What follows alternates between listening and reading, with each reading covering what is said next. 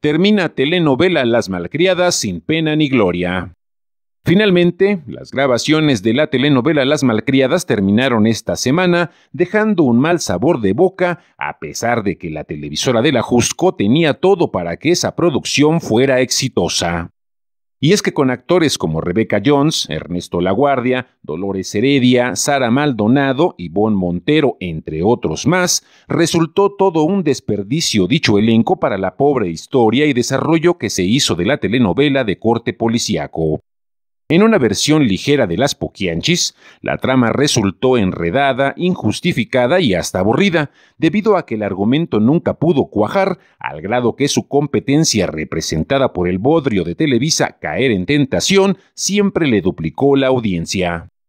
Más allá de lo doloroso que resulta ver que actores como Rebecca Jones o Ernesto Laguardia vean limitado su trabajo por la falta de capacidad de los escritores y productores, Las Malcriadas sumó un tercer golpe consecutivo a la nueva dirección de contenidos de TV Azteca, que llegó ahí asegurando que marcaría una nueva era. Fuera de Rosario Tijeras, los descalabros se han ido acumulando con la fiscal de hierro, nada personal y ahora con las malcriadas, lo que trae desesperados a Joshua Mins y a su equipo, pues no logran darle al clavo con producciones que no tengan que ver con narconovelas.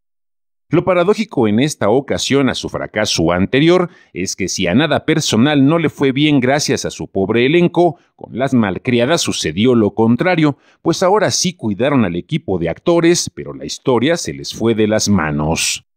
Tras esa mala racha, Joshua Mins y su equipo cercano están desesperados por tener otro éxito, al grado que en su consternación ya anunciaron que harán la segunda parte de Rosario Tijeras, a pesar de que en primera instancia habían dicho que no, pues la producción fracasó rotundamente fuera de México. Con todo ello, la paciencia se le está empezando a agotar al mandamás de TV Azteca, Benjamín Salinas, y con sobrada razón, pues él ha puesto todo de su parte para reinventar la empresa que le heredó su padre, pero su equipo responsable en contenidos nada más no se comporta a la altura de las exigencias.